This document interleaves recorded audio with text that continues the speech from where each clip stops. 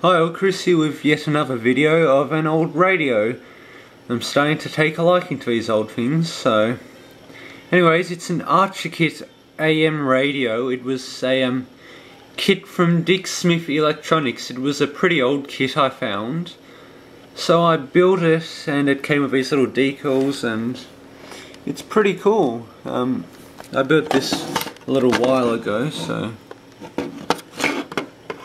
Actually, no, my mistake. Radio Shack Tandy, not Dick Smith, sorry. So, yeah, Fort Worth, Texas, made in Taiwan.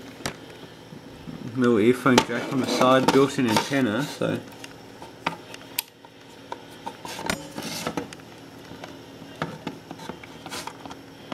The battery in this thing probably long dead by now. I can't even remember how you change the battery. But